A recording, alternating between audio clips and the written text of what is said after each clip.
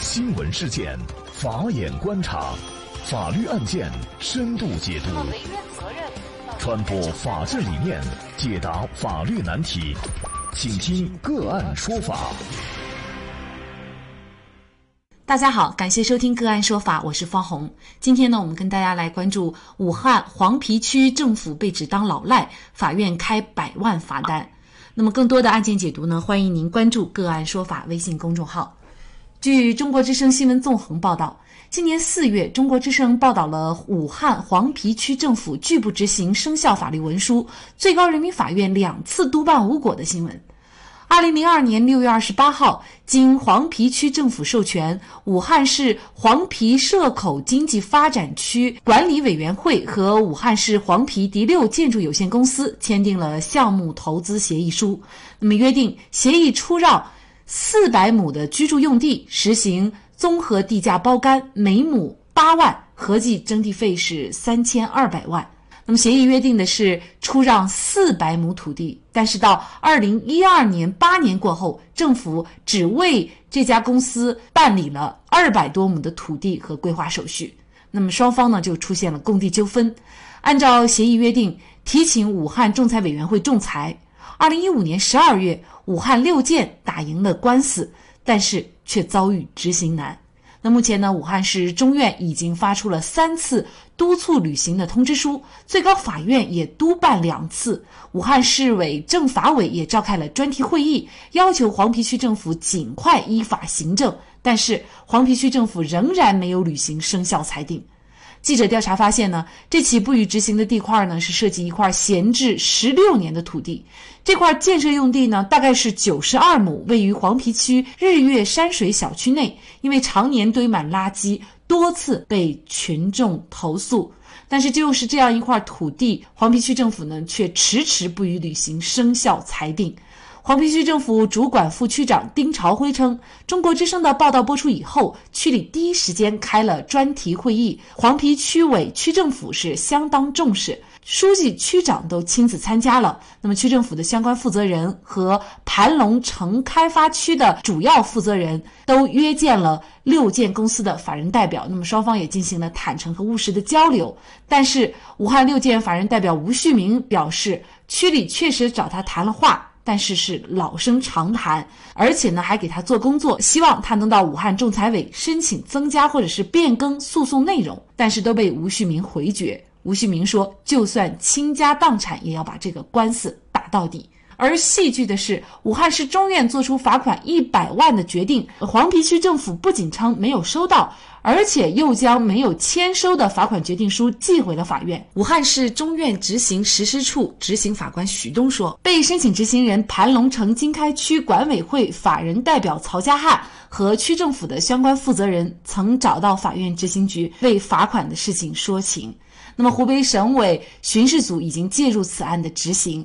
二零一七年七月十二号，武汉中院就将盘龙城经开区管委会和其法人代表曹家汉列入了失信被执行人名单。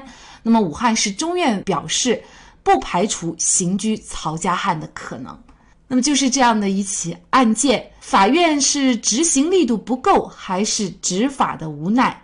案件两年多无法执行。那么案件的症结到底在哪儿？政府部门领导换届或者是改名，是否影响对外承担义务和责任？嗯，就这相关一系列的法律问题，今天呢，我们就邀请北京来硕律师事务所主任李文谦律师跟我们一起来聊一下。那么李律师呢，也曾代理二零一四年全国法院征收拆迁十大典型案例之廖明耀诉龙南县政府案。李律师您好，你好方红，各位听众大家好，感谢李律师。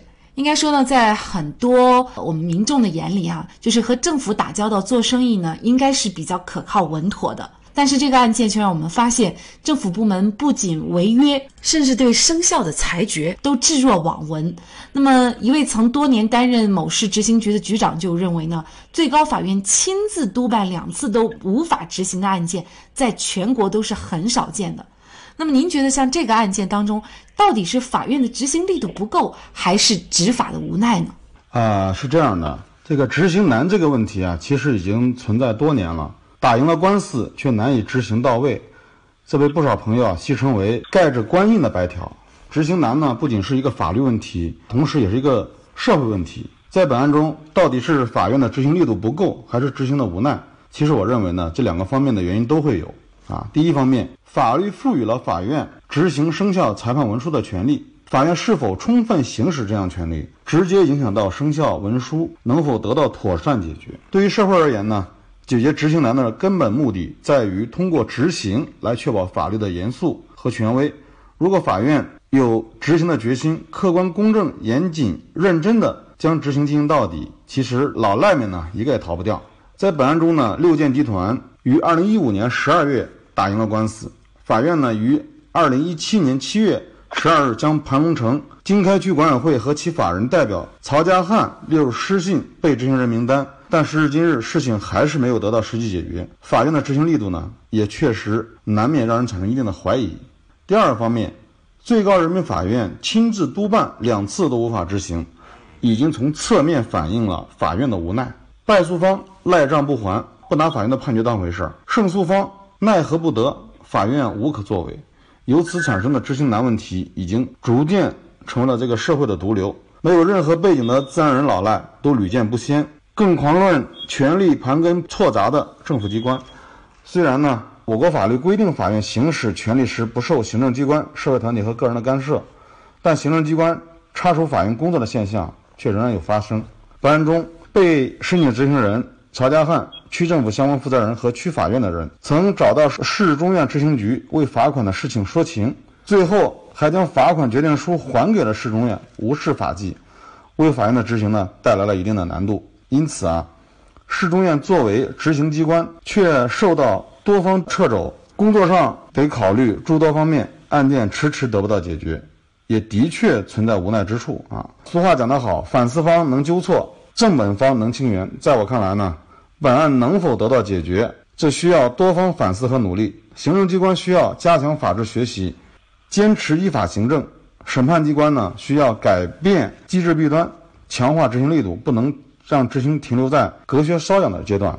那么这个案件呢，两年多都没有办法执行。武汉市中院认为呢，这个案件的症结是在于新官不理旧账，政府部门领导换届或者是改名，是否影响他对外承担的义务和责任呢？根据我国行政诉讼法及相关司法解释呢，行政诉讼的被告为行政机关，行政机关呢被撤销或者职权变更的，继续行使其职权的行政机关是被告；没有继续行使其职权的行政机关的呢？以其所属的人民政府为被告，由此可知呢，行政机关对外身份是一个法人，其领导呢只是行政机关的法定代表人。政府部门领导换届或者改名，不影响对外承担义务和责任。啊，新官不理旧账呢，带来的负面影响是持续且恶劣的，有违为人民服务的这个政府宗旨，严重损害了政府公信力和人民的合法权益。究其原因呢，有三点：第一个呢是缺乏担当精神，啊，不愿意处理。错综复杂的糊涂账。第二个呢，我认为是他们的法律意识啊过于淡薄，缺乏呢契约的精神。第三个呢，就是官本位思想严重，将自己领导的政府部门呢当做自己家的后花园，在位置上呢没有做好摆正，铁打的政府流水的领导。在今年两会上呢，啊，李克强总理在政府工作报告中指出，政府要信守承诺，绝不能新官不履旧账，这就是诚信政府的承诺。这个用句古话来说啊，这个子曰：“到千乘之国，敬事而信。”作为官员，应当严肃认真、兢兢业业地对待工作，要讲求诚信，不欺于百姓。本案中的被执行人呢，应当及时进行反思。在生活实践当中呢，我们可能还会遇到就是政府违约甚至是违法的一些情况发生。那么，如果遇到了，作为咱们当事方应该怎么办呢？遇到这个政府违约呢，有一句法律的谚语是这样讲的：法律保护弱者，但是不保护躺在权利上睡觉的人。遇到政府违约呢，我们必须及时采取法律措施，维护自身的合法权益，不能因为担心政府当老赖而不去维权，否则呢，吃亏的只能是自己。当然了，另一方面，我们也需要强调，政府应当注重契约精神，官员更应做好契约精神的表率。新官上任要接过上一任的接力棒。为社会的持续谋篇布局，不能只想着创造自己的政绩，让政府为自己啊这个背黑锅。那么，所以呢，我们说法治政府啊，其实呢，也意味着你必须首先是一个诚信的政府。那政府就首先要讲诚信，你不能够出尔反尔，已经签好的字你也不能够变来变去。那么，尤其是一些政策，那更不能朝令夕改。另外呢，我们理解的法治政府呢，也应该是依法行政。那么，如果作为履行管理职能的这个政府部门都无视法律和法院的这个生效的裁决，那么怎么来执法？而且呢，你怎么能够让民众去守法、信法和服法呢？所以，依法治国应该首先是政府做好法律的践行者。好，那么在这里呢，也再一次感谢北京来硕律师事务所主任李文谦律师。那么，大家如果想获得我们本期节目的全部图文推送，大家可以关注我们“个案说法”的微信公众号，公众号里面搜索“个案说法”就可以找到我们加以关注了。您输入。政府政府就可以获得今天节目的全部推送。另外呢，我们的公众号里面也有对过去二百多期节目进行了分类，我们把它们分为了民事、刑事、婚姻家庭、行政类案件，大家可以根据自己的需要啊进行查看。另外呢，里面也有我们嘉宾的详细介绍。如果您在生活、工作、生意当中遇到一些法律问题，寻求解决。也欢迎大家向我们进行咨询，您可以直接添加幺五九七四八二七四六七的微信号进行咨询，也可以直接电话咨询。为大家提供法律服务的都是我们个案说法邀请的节目嘉宾，他们都非常的专业、资深和负责任。如果您觉得我们的节目对您有帮助，那支持我们的方式就是关注我们的公众号进行转发分享。感谢您的收听，我们下期节目再见。